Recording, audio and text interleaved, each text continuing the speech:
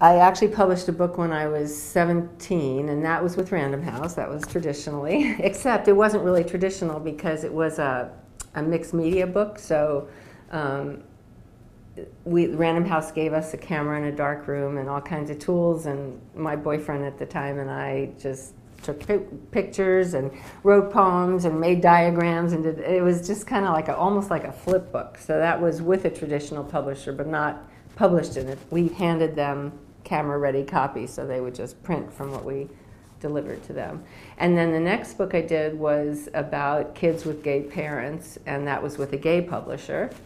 Um, and the others have mostly been with traditional publishers, but my novel, my first published novel, was with um, Counterpoint, which is a, it's kind of, it's not really uh, non-traditional, it's just small. I've published with Bantam, I've published with Random House, I've published with Counterpoint, a smaller press, St. Martin's Press, Simon & Schuster, HarperCollins, pretty much hit them all.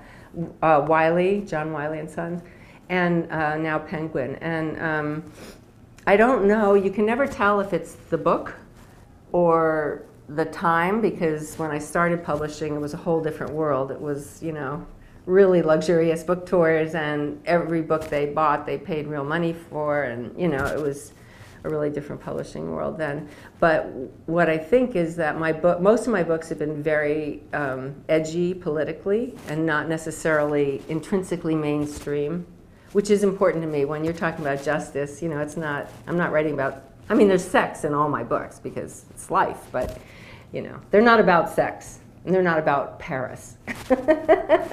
Those are the two things that seem to sell a lot of copies.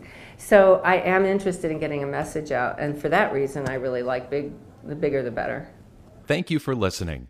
Please review our other available content for help writing, publishing, and marketing your book. If you have any questions about the Author Learning Center, please contact us by email at authorsupport at authorlearningcenter.com.